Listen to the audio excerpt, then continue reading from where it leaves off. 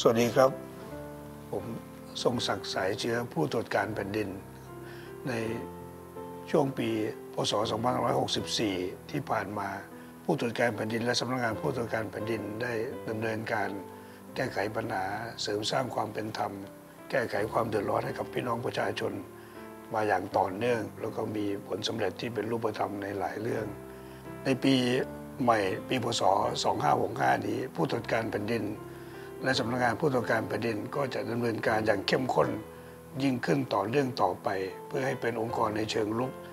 เดินหน้าเข้าแก้ไขปัญหาให้กับพี่น้องประชาชน แล้วก็เสริมสร้างสนับสนุนหน่วยงานภาครัฐ ให้มีการบริหารจัดการที่ดีนะครับในโอกาสนี้ในวาระขึ้นปีใหม่ พศ